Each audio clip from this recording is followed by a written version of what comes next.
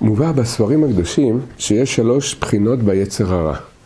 יש יצר רע שהוא נקרא קליפת נוגה שמעורב בו טוב ורע. למשל, האכילה, יש בה טוב ויש בה רע. אם אנחנו מברכים, אוכלים אוכל כשר, אומרים דברי תורה לשולחן, אנחנו מקדשים את האכילה. לעומת זאת, אנחנו יודעים שיכול להיות אכילה של שטויות והבלים, שהמושג שמרמז על אכילה של שטויות והבלים זה סעודת אחשורוש. כל השטויות והדמיונות היו בסעודה הזאת.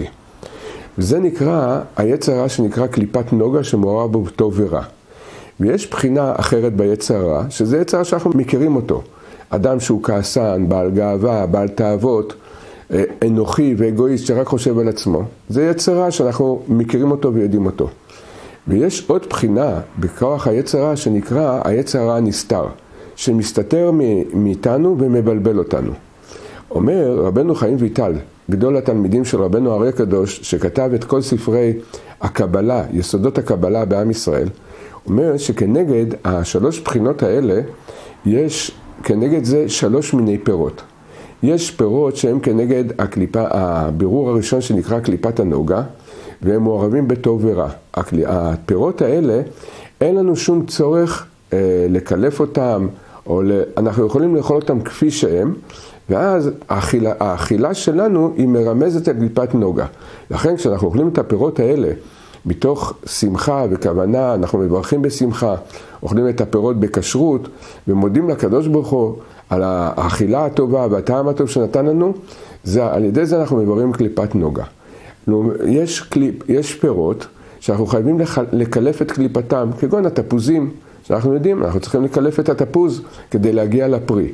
אומר, אומר רבנו חמיטל, שזה מרמז על הבחינה השנייה של היצר הרע, שאנחנו צריכים לב, להסיר ממנו את החלק הרע, יש רע, ואז אנחנו נגיע לטוב הפנימי. כשאדם יש לו מידה לא טובה, כגון מידת הכעס, והוא עובד על מידת הכעס, יזכה להרבה ארך אפיים, סבלנות כלפי הזולת. יכול להכיל את הזולת. זה מרמז על העצר הרע, שאנחנו מכירים אותו, נלחמים ואז מגיעים לפרי.